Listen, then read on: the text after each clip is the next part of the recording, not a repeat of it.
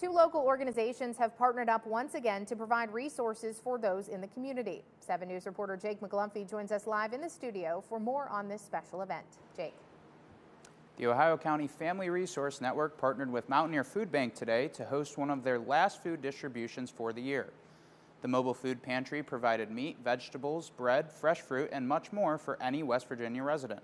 The handout was available to anyone who provided a West Virginia address.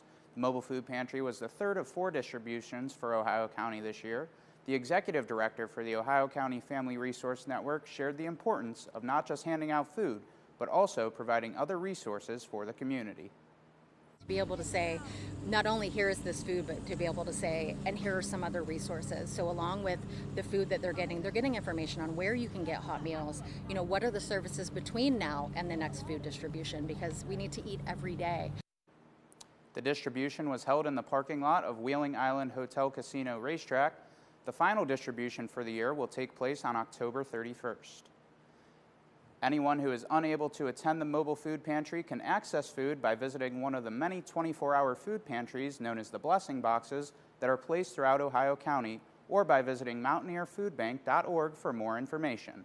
Live in the 7 News studio, I'm Jake McGlumphy, working for you.